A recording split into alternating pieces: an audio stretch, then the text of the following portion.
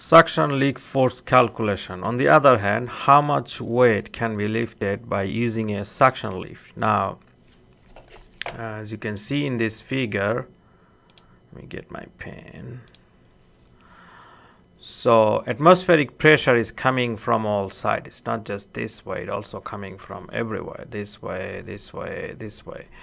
Now it is um, so if we create a uh, vacuum here then the force acting this direction is basically uh, the vacuum uh, pressure or suction pressure times this area.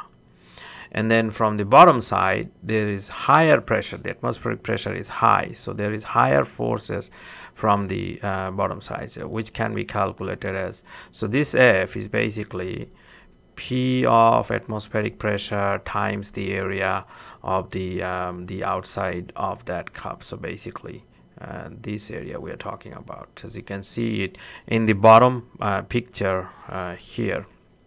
Now and then the downward force is basically F equals P suction uh, times the the inside area which is AI and then if you subtract those two force then the resultant force will be the amount of load in theory can be lifted uh, something like that. So this is the suction lift force calculation.